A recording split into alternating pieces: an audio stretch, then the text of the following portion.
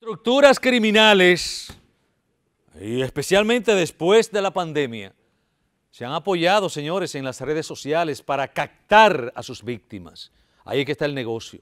Y de esta forma involucrarlas eh, eh, en eso, en esa mafia de la trata de personas. Además de utilizar estas mismas plataformas para la promoción y el consumo del servicio sexual. Eso es así.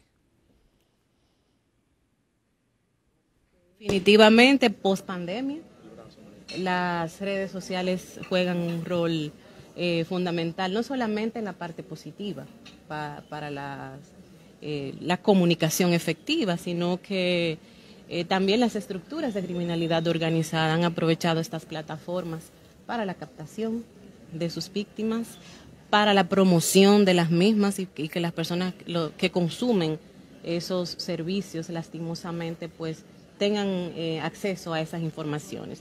Pero igual, pues esto ha generado que el Ministerio Público, que los órganos de investigación, pues eh, fortalezcan lo que es las investigaciones de trata enfocada en la tecnología. Bueno, eh, ustedes saben que la trata de personas y el tráfico ilícito de migrantes es una ley especial.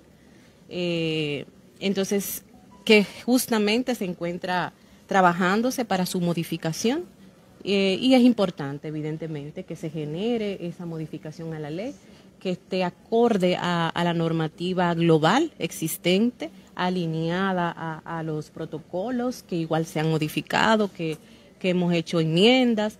Entonces, que nuestra ley esté enfocada y esté acorde, al unísono, con las nuevas normativas y exigencias. Y como decíamos, la criminalidad organizada eh, pues va, va cambiando, van, van mutando en sus estrategias y del mismo modo nosotros tenemos que ir a través de nuestras leyes y nuestras estrategias de persecución, ir acorde.